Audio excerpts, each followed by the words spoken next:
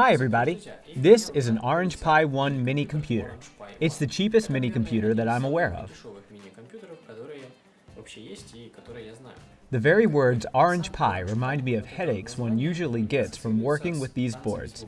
It's because working with Orange Pi boards usually reveals many hidden problems which can interfere with your work and simply stand in your way. Working with Raspberry boards involves fewer pitfalls, and you can achieve your goals with Raspberries faster, but they are far more expensive than Orange boards. That's why this video is about an Orange Pi 1 board. This one has 512 MB RAM and a 600 MHz quad-core CPU. One can say that's not enough, but maybe for today's project it's more than enough.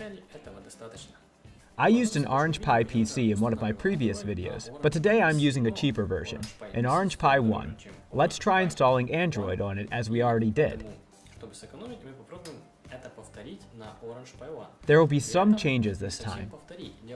I'll use a special version of Android for Zidoo.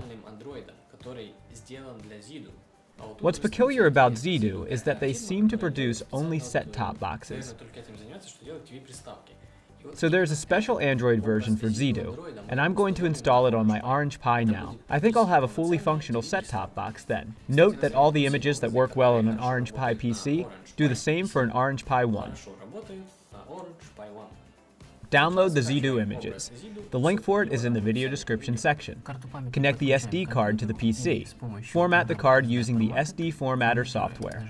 Option, on, OK, format, OK. Open the Phoenix Card program.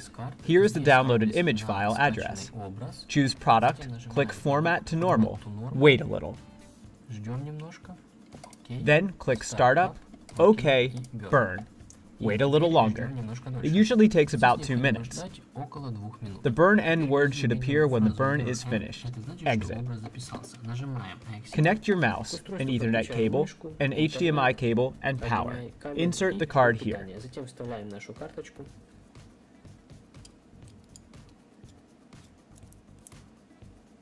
Attach a radiator to the CPU. The bigger, the better.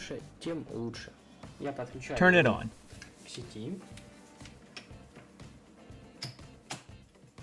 Well, nothing happened. The Orange Pi LED light is off too.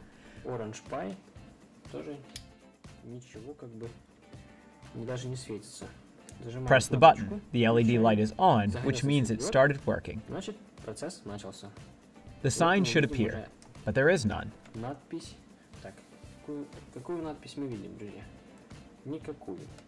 Well, here it is. The Zidoo sign is on. Now we need to wait. Don't know for how long. Let me think. Look, there is a broken pixel on my TV screen that I didn't notice earlier.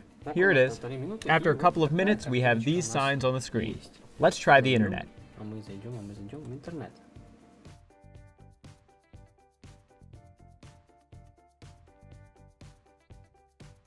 By the way, this is a free media player, this Kodi app here.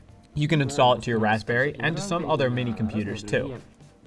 Э, and you can control it with your phone or a TV remote.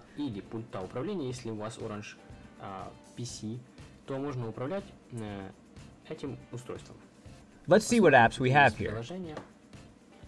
Well, this one is by Android. These radiators aren't sufficient. The board is overheated already. And this Orange Pi just turned off because of the overheating. I took a radiator off a Raspberry and attached it here. It's working again. Let's open Kodi.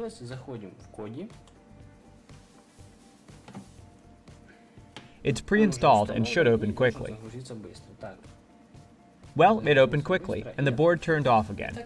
As you can see, this device has turned off three times already. So I'll use this 10 watt LED light radiator this time. This is a radiator with a cooler because the LED light runs hot very quickly.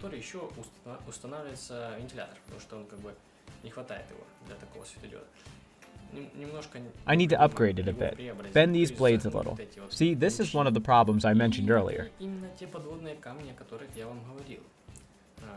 You should be prepared for anything when working with this mini computer.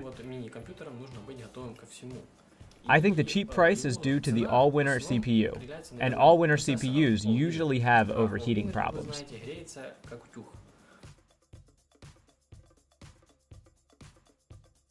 An active cooling system must be used for such CPUs, but some people advise using radiators without coolers.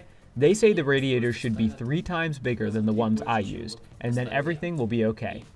My task is complete now. I wanted to show you how to install Android onto an Orange board. I'll order an active cooling system soon and show you how the Orange will work with it.